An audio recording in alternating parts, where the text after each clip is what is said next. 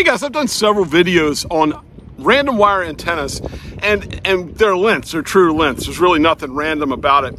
And they range for a lot of different uh, dimensions um, 29 35 and a half feet uh, 41 feet and on up. The whole idea here is that you find a a spot where a 9 to 1 unun will basically make it tunable multiband. Also, the thing about these lengths are they're not resonant on the frequencies you want to use or any of their multiples, the halves and the wholes and, and that such. There's a lot of great information out there. Anyway, there's one I've never made, especially as a vertical, and it's a 29 feet straight up vertical antenna and uh, with a 9 to 1 unun. I'm going to do that today. And I've seen some people that, that have done this and had some success, so I want to try it myself. So what I've got today is I got some 22 gauge wire that I'm going to use, tape measure, my LDG 9 to 1 unun, wire strippers, and my 10 meter DX Commander pole.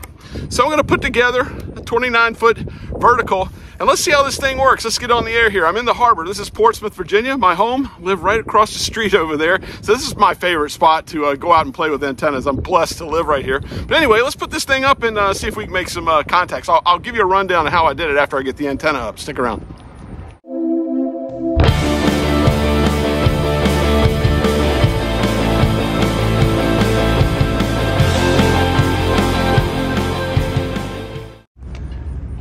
Okay, here's the setup.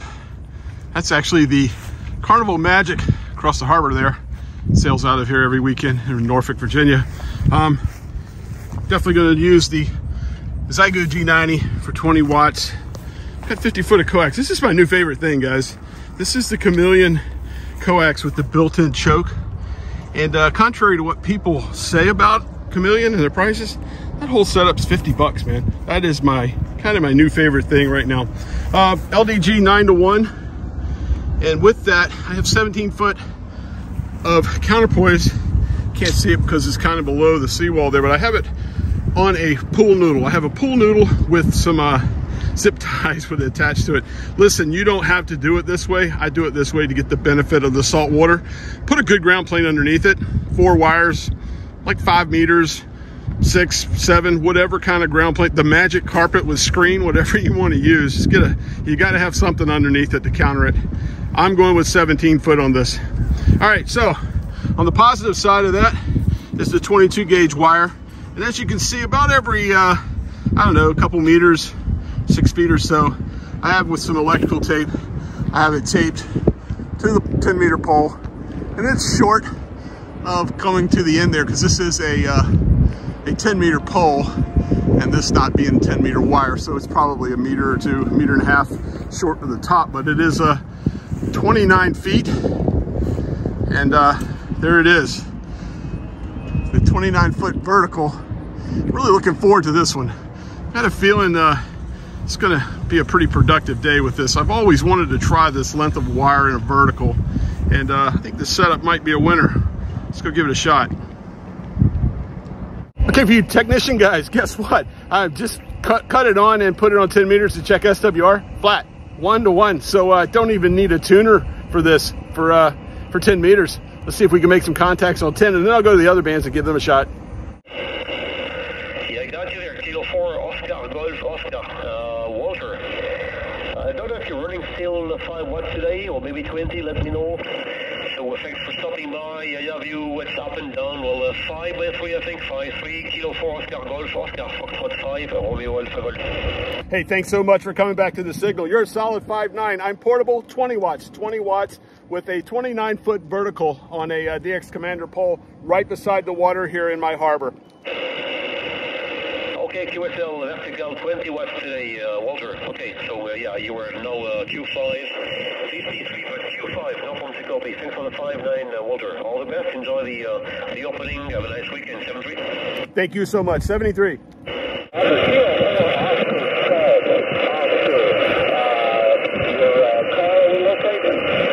Uh, yes, I'm in Virginia. Uh, you're about a 5'3 here. Band's kind of up and down, a lot of QSB.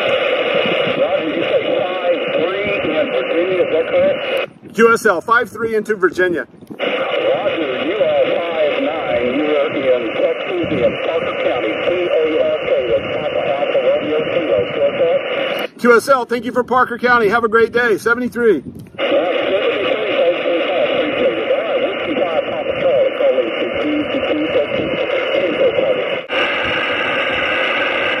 Kilo 4, Oscar Golf Officer, 5'9 in the Parkade, 1549. QSL? Uh, QSL, QSL, you're 5'8 into the harbor of Norfolk, Virginia. I'm portable as well with just 20 watts. Oh, Roger, Roger, doing nice at that 20 watts. Uh, thanks me, and I appreciate it. 73, sir. Thank you. 73.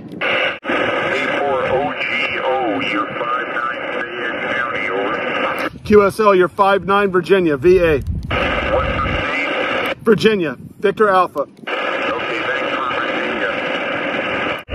Ticket stay safe, ticket doggy stay, ticket stay safe. United Alpha 6 Hotel Bravo United Alpha 6 Hotel Bravo. United Alpha 6 Hotel Bravo.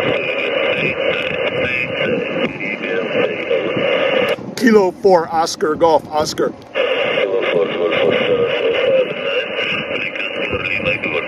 United Alpha 6 Hotel Bravo over. Uh, QSL, QSL, you're 5'9 into Norfolk, Virginia. I'm portable with just 20 watts here.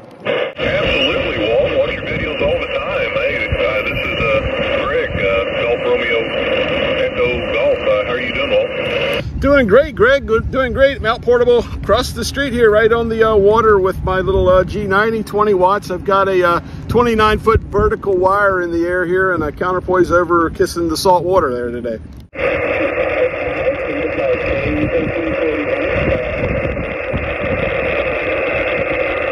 Hi, QSL. You're 5'7, but the band's kind of dropping on me here. I'm portable here in Norfolk, Virginia. Thank you so much for activating.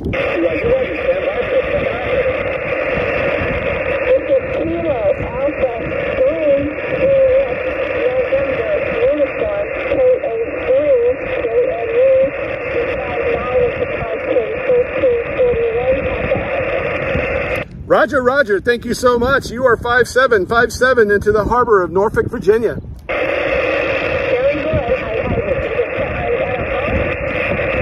I'm, I'm next to the seawall here, right by the water, but on land.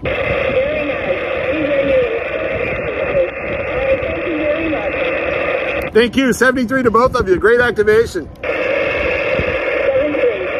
Well, that was a fun antenna. Enjoyed that. Um, conditions here, kind of a crazy day. I mean, 10 is open, but um, as you started going up the bands, uh, a lot going on. Uh, you know, it's uh, midday here in the States, so there's a whole lot of people. It's a Saturday, so people are out uh, activating POTA. So 20 and uh, 15 were, uh, you know, loaded with POTA, and then there's like a Texas QSO party in some other states. So a lot of local stuff's kind of hard to get some DX. I got a little bit in there for sure. Um, the surprising thing, and what I tried on the whim there, as you saw, 40 meters. Hey, cool. I don't really, you know, with some of my antennas, I, I kind of aim for and design them for 20 through 10, and, you know, maybe six meters here or there, but uh, I kind of stay, you know, 20 and up.